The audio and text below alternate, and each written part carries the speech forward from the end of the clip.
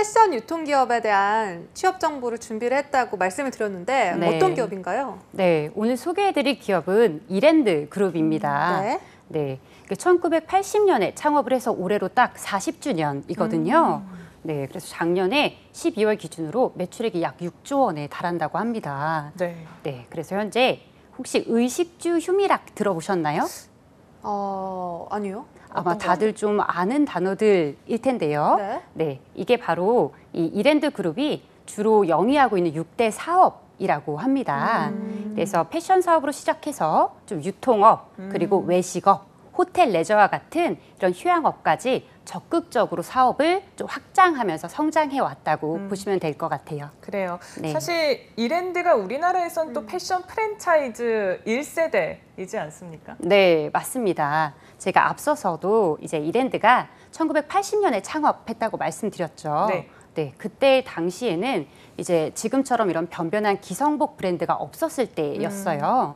그래서 이제 뭐 명동이나 이화여대 앞에서 다들 이제 맞춤복을 입었었을 때였는데 네. 이때에 이제 박성수 회장께서 절반의 가격으로 두 배의 가치를 제공하겠다라는 철학으로 이제 이화여대 앞에 잉글랜드라는 옷가게를 열게 됩니다.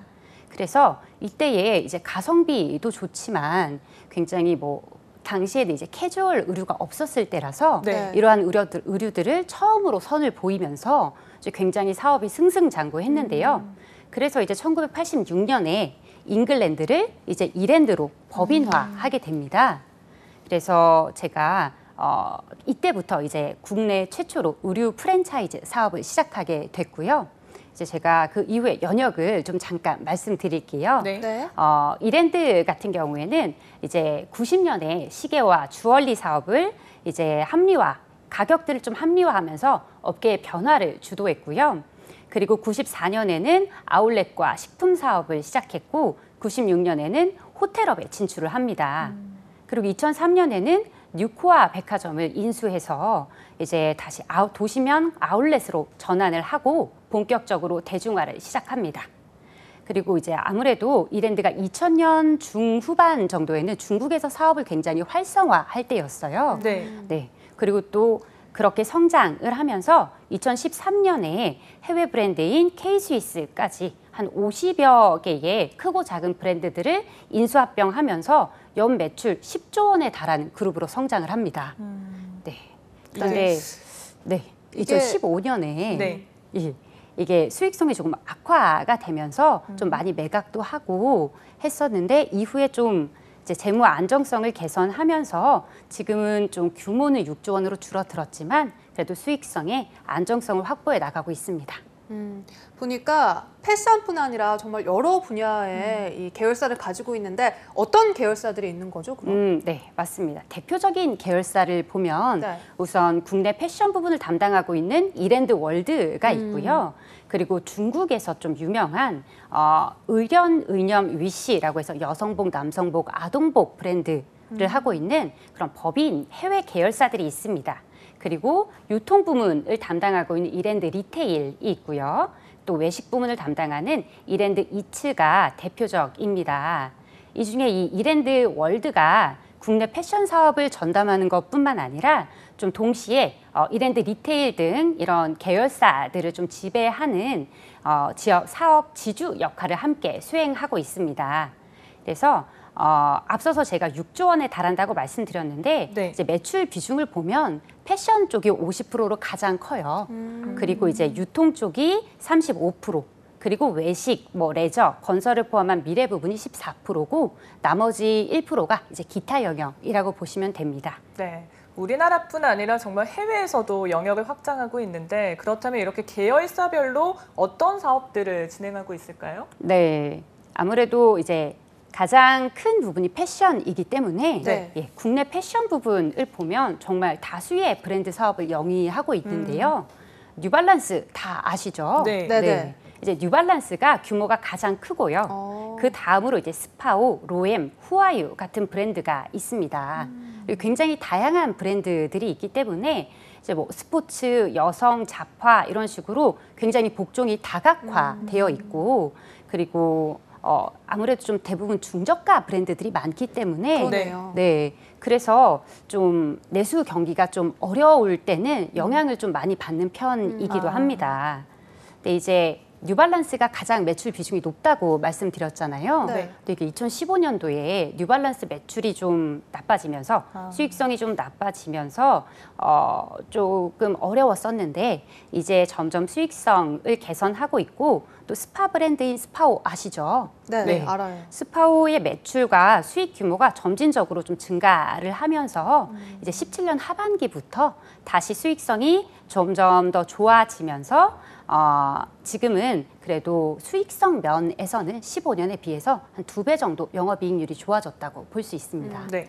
네, 저는 이 스파오나 이 뉴발란스가 다 이랜드 음. 그룹인지 이제 오늘 음. 처음 알고 가는데 네, 네. 이렇게 해외에서는 이랜드 그룹이 상당히 인기가 많다고 들었거든요. 어, 맞습니다. 특히 2000년대 중후반에 네. 이랜드 성공신화나 이런 다큐멘터리가 아. 나올 정도로 어. 굉장히 어, 막 성공했고 인기가 있고 이런 이야기를 저도 접했었어요. 그 네. 당시에도 이제 지금 현재도 최근 3개년 기준으로 이제 이랜드의 해외 매출의 80%는 중국에서 이제 얻어내고 있습니다.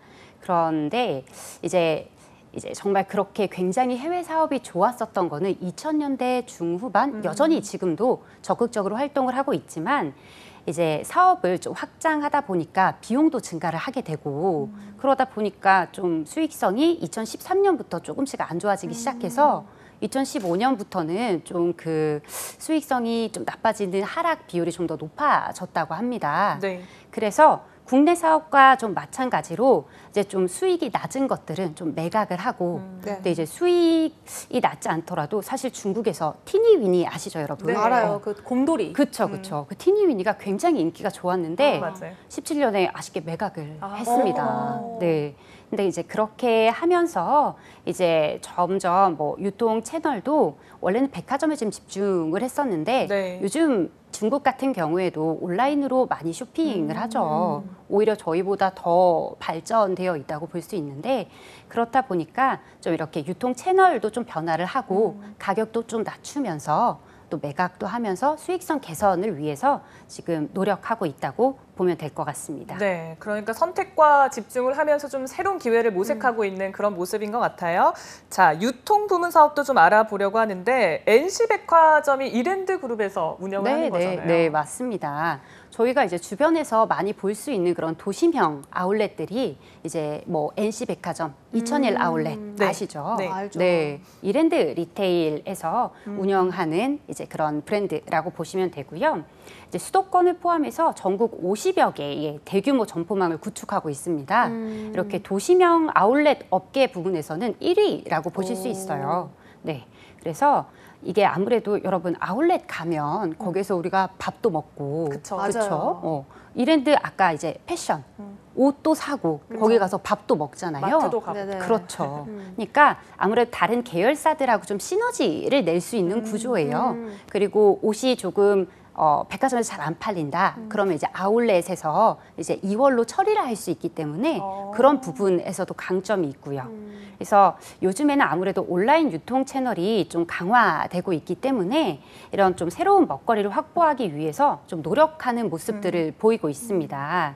특히 지난 7일에 아동복 전문 온라인 쇼핑몰인 키디키디를 오픈을 했어요. 네. 요즘 아이들이 뭐 저출산이라고는 하지만 네. 이제 아이가 한 명이더라도 옷은 또 많이 사서 입히고 아. 예쁜 거 입히고 이러다 보니까 연 10%씩 성장을 하고 있기 음. 때문에 굉장히 기대되는 시장이고 또 open innovation이라고 해서 스타트업에 투자를 해서 네. 계속 협업을 하면서 최근에는 키즈픽이라고 해서 음. 아동복 구독 서비스를 하는 이제 업체 투자를 해서 음. 이제 곧 론칭을 앞두고 있다고 합니다.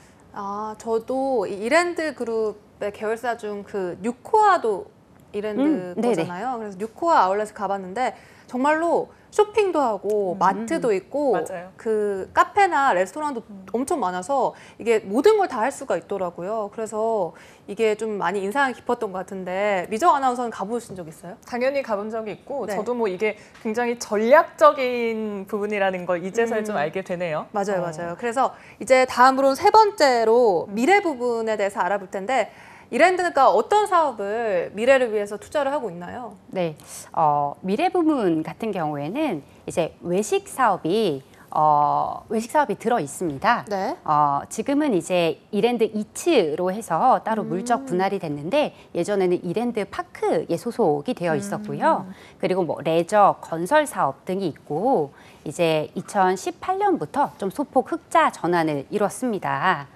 그래서 이랜드 이츠가 전담하고 있는 외식 사업은 여러분 애슐리 아시죠? 아, 네. 알죠. 애슐리. 알죠, 그리고 이제 애슐리. 이랜드 브랜드들이 좀 들어 있는 건물들에 가면 네. 이제 뭐 피자몰 있죠. 음. 자연별고. 음. 네.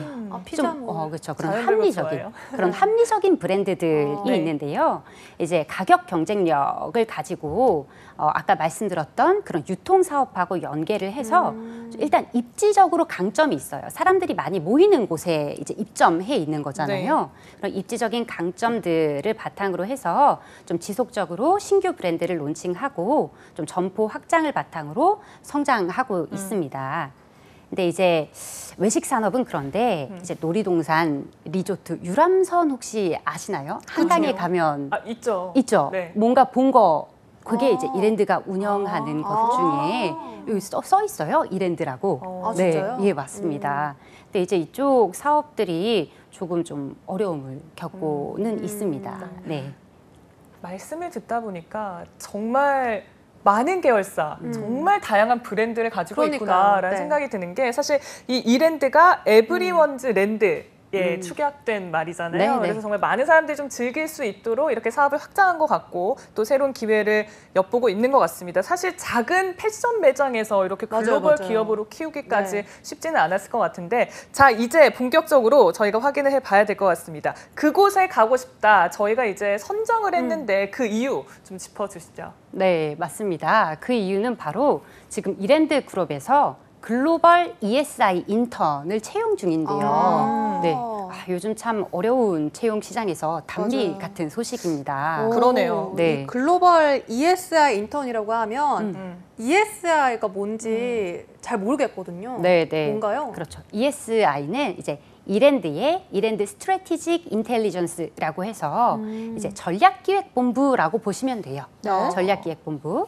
그래서 어, 이 인턴십은 이제 2007년부터 좀 꾸준히 음. 뽑아왔다고 보시면 돼요. 2007년부터 이제 보통 하계 인턴, 동계 인턴 이렇게 네. 모집을 음. 해요. 물론 뭐 몇 번 안 뽑았던 적도 있지만 음. 이번이 22기니까 22번째 채용이라고 보시면 될 것 같습니다. 네. 그래서 ESI는 그룹에 어, 그룹에 in-house 컨설팅 firm이 있는 회사들이 그렇게 많지 않습니다. 음. 그래서 어떻게 보면 국내에선 좀 가장 규모가 큰 in-house 컨설팅 firm 이라고 볼 수 있고요. 이제 이랜드 그룹이 하고 있는 뭐 패션, 유통 등등의 사업 본부 이런 사업부에 뭐 장기적이고 단기적인 그런 전략들을 좀 수립하는 역할을 하게 됩니다. 그래서 어, 정말 현장에서 좀 바로 적용할 수 있는 그런 사업부터 해서 뭐 신사업 전략까지 좀 장단기적인 역할을 하면서 그룹에서 브레인 역할을 하고 있습니다. 사실 왜 회사마다 전략 본부가 있는데 이곳에 들어가면 핵심 인재로 성장할 수 있기 음, 음. 때문에 아. 이렇게 혹시 원하는 분들은 좀 욕심을 내는 음. 자리이기도 하지 않나요? 네, 네, 맞습니다. 이게 실제로 ESI 출신들이 음. 좀 승진이나 그리고 어. 또 어떤 부분들에서 사람이 필요하면 좀 서로 데려가려고 한다라는 오. 이야기도 있더라고요. 네.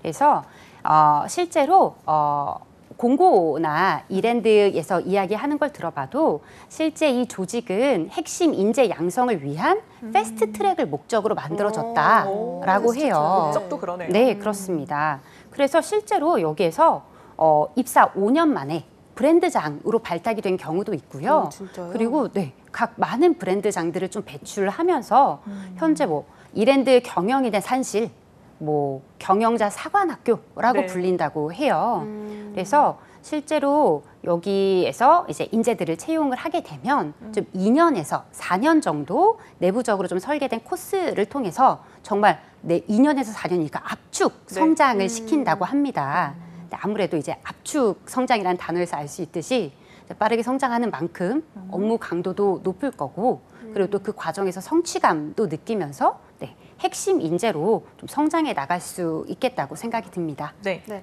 ESI가 그러니까 ESI가 되면 음. 구체적으로 어떤 업무를 또 맡게 되는지도 궁금해요. 네, ESI는 이제 그룹 내에 문제 해결사라고 보시면 돼요. 음. 오. 네, 각종 문제들을 이제 해결을 하게 될 텐데 이제 브랜드들이 자체적으로 좀 해결하기 어려운 문제도 있을 거고 네. 그리고 브랜드 하나의 브랜드가 좀 해결하기에는 범위가 너무 큰 일도 있을 거예요. 음. 그래서 이런 문제들을 수주받아서 프로젝트식으로 일을 진행합니다. 음. 그래서 어, 실제로 프로젝트 매니저 한 명과 그리고 그 팀원 한두 명이 하나의 팀을 이뤄서 네. 한 한두 달 정도의 프로젝트를 수행하게 되는데요. 실제 뭐 신규 브랜드 론칭 전략, 그리고 베트남, 인도 등 신흥 글로벌 시장 localization 전략, 이런 좀 미래 성장 동력을 제안하는 거시적인 프로젝트를 하기도 하고, 당장의 브랜드의 핵심 상품을 설계하거나 좀 매장 operation 시스템을 설계하는 그런 미시적인 프로젝트도 진행한다고 합니다. 음. 네. 그러니까 핵심 인재로 성장할 수 있는 어떻게 보면 fast track이다라고 음. 볼 수는 있을 것 같은데 혹시 뭐 이 밖에도 추천하는 이유가 있으신가요? 네, 아무래도 어, 우리 어, 취준생들이 인턴을 하게 되면 한 네. 두달 정도 짧게 진행을 하기 때문에. 네. 사실 뭐 엄청난 걸 얻어온다거나 음. 직접적인 일을 한다거나 하는 경우는 적어요. 그런데 이 인턴 같은 경우에는 정말 과제 해결형 음. 프로젝트를 진행하기 때문에 실제로 현장에서 진행되고 있는 프로젝트를 인턴들이 경험을 할 수가 있어요. 어. 네. 그래서 물론 이랜드 그룹에 입사를 해서도 어, 좋은 기회들을 가질 수 있겠지만 뭐 정말 인턴으로서 경험을 한다고 해도 굉장히 우리 취준생들에게는 도움이 될 수 있는 기회입니다. 그리고 실제로 입사를 하게 되면 내부적으로 사업 부문이 뭐 패션, 유통, 외식 사업 등등등 있기 때문에 이제 사내 공모를 통해서 다양한 이제 사업 부문을 경험을 해볼 수가 있어요. 아까도 이제 브랜드가 굉장히 많은 걸 저희가 체감했듯이 네. 정말 B2, B2C 산업을 음. 다양하게 경험해 볼 수 있는 기회라고 보시면 될 것 같아요. 그러네요. 네. 그러면 이제 이랜드 그룹에서 채용 공고를 나왔잖아요. 냈잖아요. 한번 확인을 해볼까요? 채용 공고. 네. 그럼 채용 공고를 보시면요. 일단 접수 기간은 다음 주 월요일인 5월 18일까지입니다. 네. 네, 모집 부문은 전략 기획 및 컨설팅 그리고 인사, 재무 자금이고요. 그러니까 크게 세 개 직무라고 보시면 돼요. 그래서 이 세 개의 직무를 어, 중복 없이 선택하게끔 되어 있는데 실제로 입사를 하면 인사나 재무 자금을 지원했다고 하더라도 이제 우선은 전략 기획 쪽 업무를 한 2년에서 4년 정도 수행하고 그리고 이제 해당 직무로 배정이 된다라고 보시면 될 것 같아요. 그리고 선택할 수 있는 산업은 이제 패션, retail, 외식, 호텔 and 리조트, 건설 개발, 테마파크, systems 라고 보시면 되고 아까도 말씀드렸듯이 아무래도 패션이 50%로 매출 비중이 아. 가장 높고 리테일이 한 35% 정도 되니까 아무래도 이제 매출 비중이 큰 만큼 거기에서 인력이 더 많이 필요로 하지 않을까라는 생각은 듭니다. 네. 자, 지원 마감까지 일주일 남았으니까요. 여러분들 네. 늦지는 않았습니다. 좀 어, 준비를 잘 해주면 좋을 것 같고 저희 모집 대상도 한번 확인해 볼까요? 네. 어, 모집 대상은 졸업 예정자이거나 네. 그리고 졸업자를 대상으로 합니다. 네, 그리고 어, 특이한 걸 보면 외국인 유학생도 지원이 가능하고요. 오. 아무래도 글로벌 기업인 만큼 그쵸. 그리고 뭐 학점이나 어학 성적이나 전공에는 제한이 없다고 합니다. 음. 그래서 실제로 어, 입사했었던 인턴, 과거 인턴들을 보면은 뭐 공대생도 있고요, 체대생도 있습니다. 네, 전공은 무관이라고 하고요. 네. 이렇게 또 보면 이 채용 공고를 보니까 좀 어떤 그러면 스펙이나 이런 인재상을 음. 강조를 해야 될지 궁금해져요. 네, 채용 공고를 보면 네. 인재상도 나와 있는데요. 인재상이 굉장히 인상 깊습니다. 보시면 이제 30대 이른 나이에 경영자로 성장하고 싶은 인재. 음. 실제로 이렇게 성장할 수 있는 기회가 주어지기 때문이겠죠. 네. 그리고 중국, 베트남, 인도 등 글로벌 시장으로 언제든지 뛰어들 수 있는 인재 라는 거는 이제 뭐 현재 그리고 앞으로 이제 이랜드가 이 시장에서 사업을 해 나갈 것이기 때문에 어 이런 어 조건 이런 내용이 적혀 있는 것 같은데 사실 뭐 이것과 관련해서 학생들이 뭐 어학이 있어야 우대가 되나요? 이런 네. 얘기가 있는데 뭐 그런 걸 우대하지는 않는다고는 합니다 공식적으로는. 네. 근데 아무래도 관련 사업을 하게 되면 이제 가능하면 좀 플러스 요인이 있을 거라고는 생각이 듭니다. 네. 네. 그리고 이제 나머지 부분들은 정말 뭐 도전적인 인재, 의지가 강한 인재, 뭐 성장을 위해서 두려움이 없는 인재 이런 것들을 이야기하고 있는 것으로 봐서 이제 정말 이렇게 어, 업무를 통해서 성취감을 느끼고 굉장히 열정적이고 주도적으로 일할 수 있는 인재를 어, 원하고 있다는 걸 알 수 있습니다. 네. 이렇게 인재상까지 살펴봤고요. 그러면은 전형 절차는 조금 대졸공채보다는 간략할지 궁금한데 어떻습니까?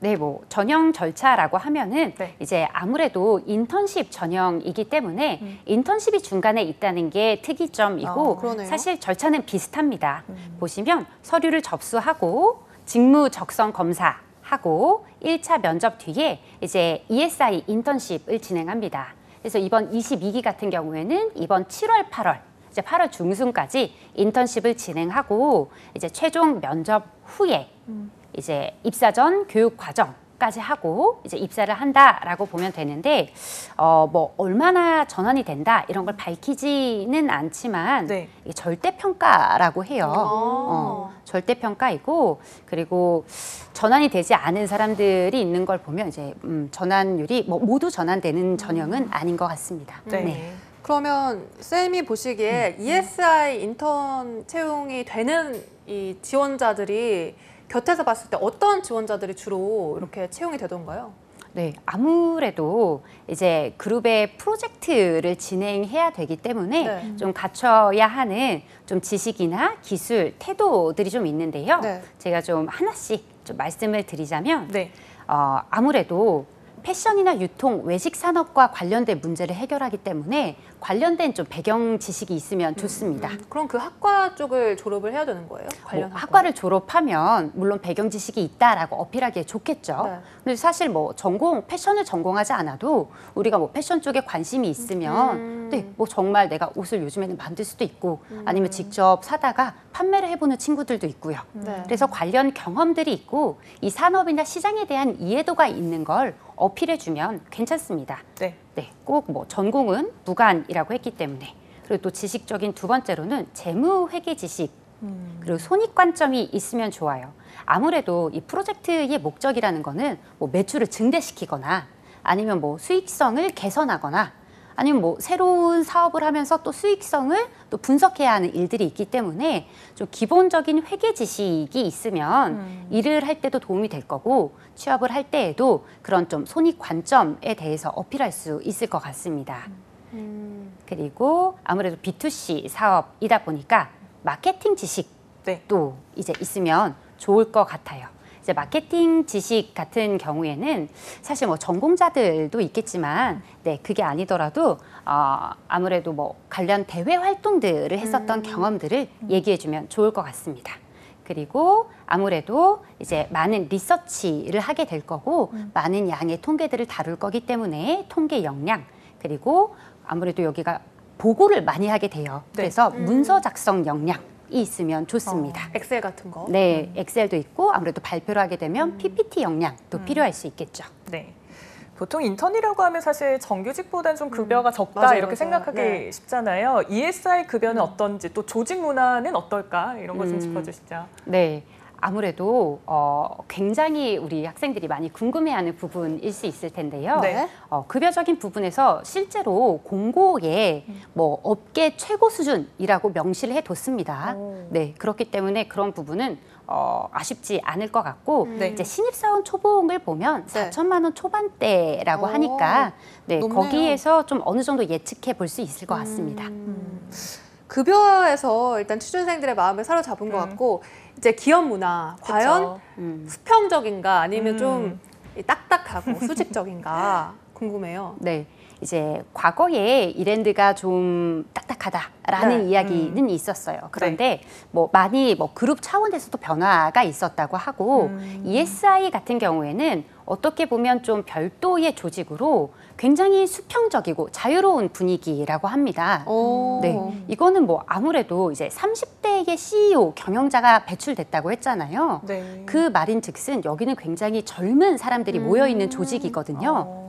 그렇기 때문에 굉장히 수평적이고 자유로운 분위기가 자연스럽게 형성이 될 것 같고 이제 굉장히 열정적이다라고 말씀드렸잖아요. 네. 그래서 자기 개발에 굉장히 열심히 하는 분위기라고 해요. 뭐 독서라거나 뭐 모여서 스터디도 진행하는 그런 분위기가 있다고 합니다. 네, 아무래도 뭐 회사와 함께 성장하고 싶다라고 하시는 분들에게 적합할 것 같고요. 끝으로 복지는 어떤지 좀 간략하게 짚어주시죠. 네. 이랜드 같은 경우에는 아까 말씀드렸던 이제 정말 수많은 브랜드들이 있죠. 네. 그래서 본인이 이제 소속되어 있는 브랜드에서는 약 50% 정도의 할인을 받을 수 있고요. 또 계열사에서도 최대 10%까지 할인 혜택을 받을 수 있다고 합니다. 그리고 또 이랜드가 어, 가족 친화 기업 음. 이렇게 예전부터 이제 가족 친화 기업으로 되어져 왔었는데 이제 여성 비율이 다른 회사들보다 좀 높은 편이에요. 오. 그렇다 보니까 이제 여성들 그리고 이제 또 출산을 하거나 앞두고 있거나 아이를 키우는 또 여성들에게도 다양한 복지들이 있다고 합니다.